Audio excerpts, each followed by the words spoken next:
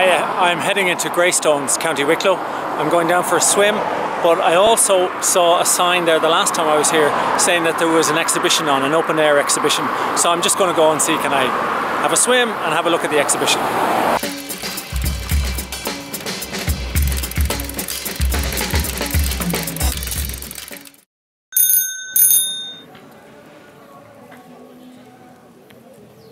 You may know that Greystones Harbour has recently been developed and there's a lot of controversy about it. Part of the development, though, has been a plaza on the waterfront. And today, that plaza is home to an exhibition and a market.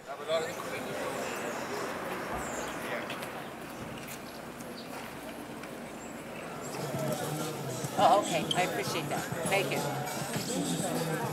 Yeah, that's true. Okay. I'm. Uh...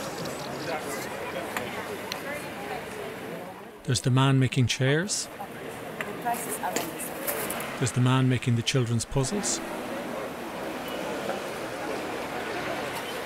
Then there's the retired school teacher, whose pictures feature school children playing.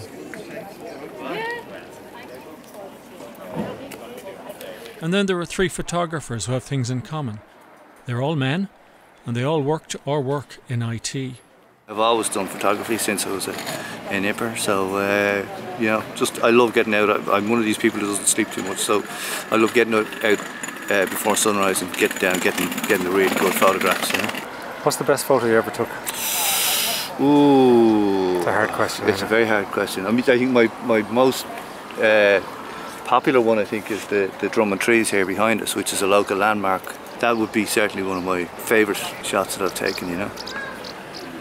As a hobby, I suppose, in taking photos for 20 years as such. Oh yeah? Yeah. And these are all holiday photographs. This one is in Marrakesh in the old Islamic College, which is a tourist site now. It's also in Marrakesh here. Uh, we have Vermont. To uh, a friend playing uh, with the E Street Band.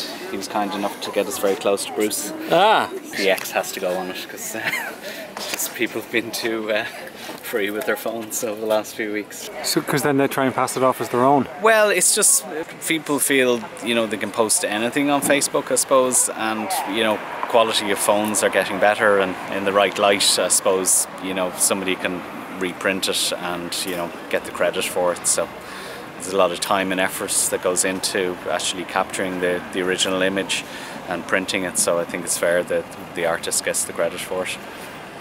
I take it as I see it.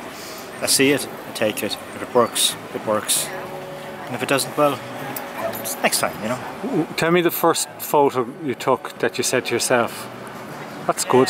That's I'm happy now with what I'm doing. I've managed to achieve something with that. One of the ones is that one there. It's from South Africa, looking down onto the beach. And the minute I took it, I knew. Looked and I said, "Yeah, I like that." Uh, it was a friend of mine who bought a, a copy of it for me some years back, and he said, if you took the guy out of it, you wouldn't know whether it was sea or what it was. Right. You think there were clouds, and you know, it's just that little bit, you know, different. Greystone's waterfront exhibition. Well, it's great looking at paintings and photographs. It's even better having the makers tell you about them. Where did the moustache come from? Quite a long time, it's it is fantastic.